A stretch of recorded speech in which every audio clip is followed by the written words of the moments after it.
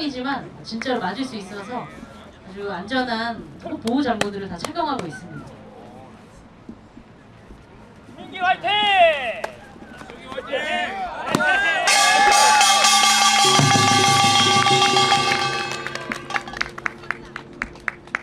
더 세게 더 민기 세게 화이팅! 더 세게 하셔야 박수가 더 크게 같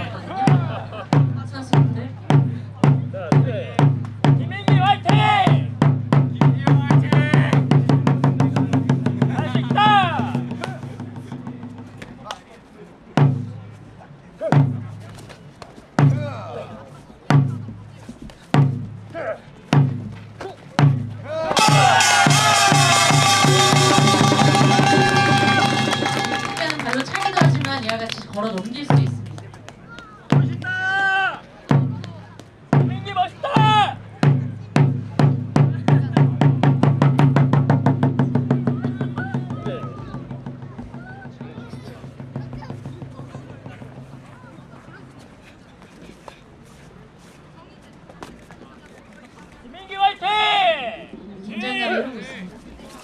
있다!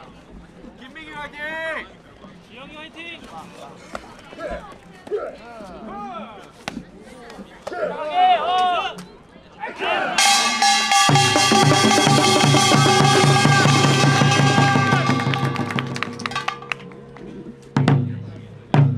보신 동작은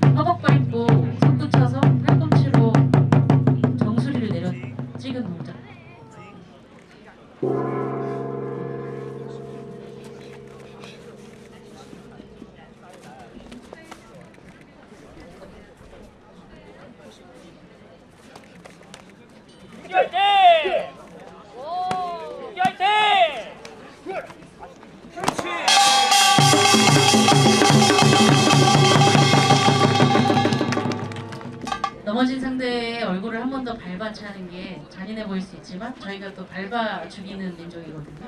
그래서